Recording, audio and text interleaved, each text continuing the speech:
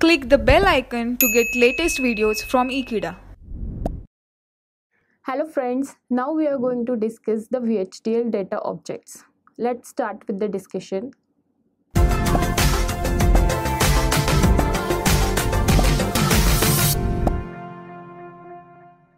So, the first VHDL data object is signal.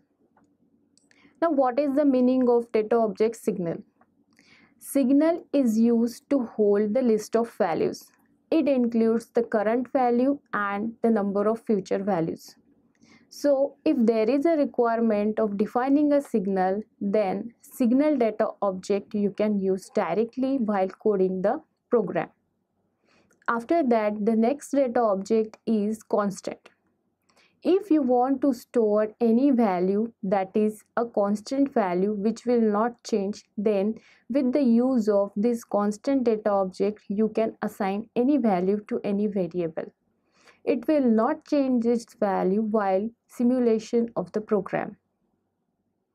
The next data object VHDL provides is a variable to hold any value while simulation of a program then you can define the variables inside the program to get the final results directly.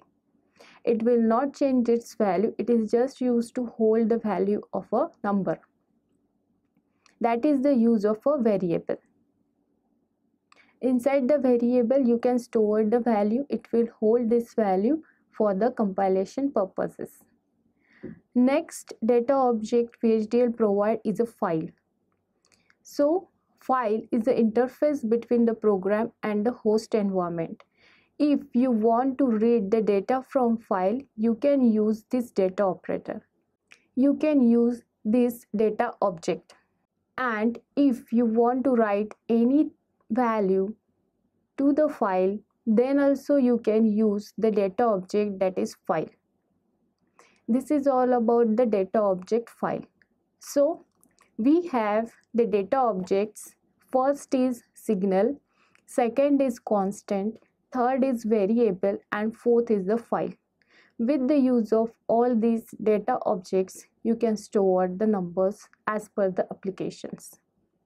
Thank you for watching this video. Stay tuned with Ekeeda and subscribe to Ekeeda